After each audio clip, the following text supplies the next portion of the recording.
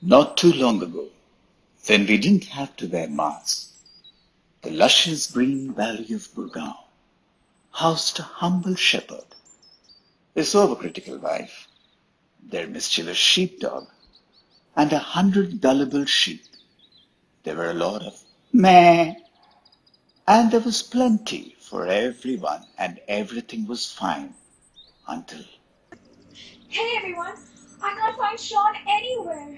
Something really bad must have happened to him. What if what if he fell down the hill and died? What if he hit his head on a bigger rock and then died? What if he was eaten by a wolf? Oh no, what are we gonna tell the shepherd now? Ah, he must have been sleeping somewhere. You guys didn't know? The shepherd and his wife ate him for lunch yesterday. And I had a big fat piece as well. Don't scare us. The shepherd only rears us for our wool, not for our meat. Well, little bit, let me tell you something. The shepherd's gonna sell some of you to his meat factory to expand his business. Cha-ching! They're gonna make sweaters and salamis out of me? No, no. That that can't be true. Breaking news! The coronavirus is rapidly spreading across the nation. The government has declared an immediate lockdown. This has affected all businesses, both small and large. All are requested to remain at home. Something smells sheepy. Sean is missing. A tiny virus has taken down businesses.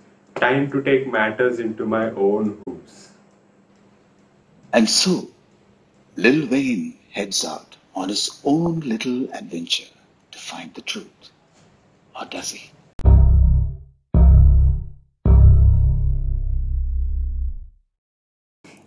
Empty streets, crowded homes, tight security.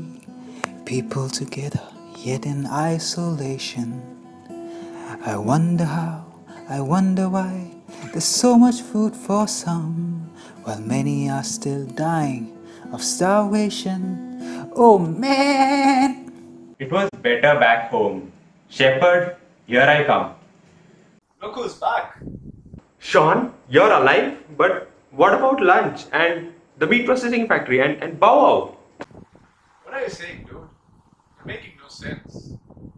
I woke up from my sleep and found out that you were missing. Shepherd's been looking for you everywhere. He was so worried that he left the 99 of us and went looking out for you. Really?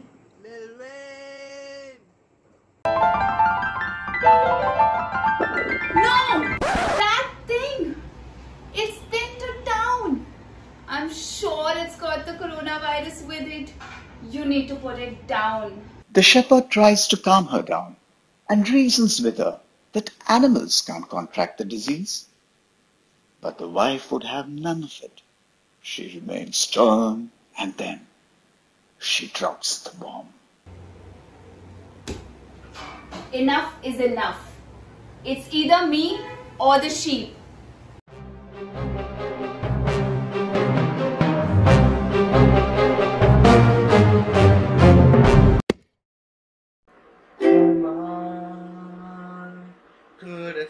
The lion. Instead, we put him in an isolation crib. And now he has a chance to live. It could have been my lunch.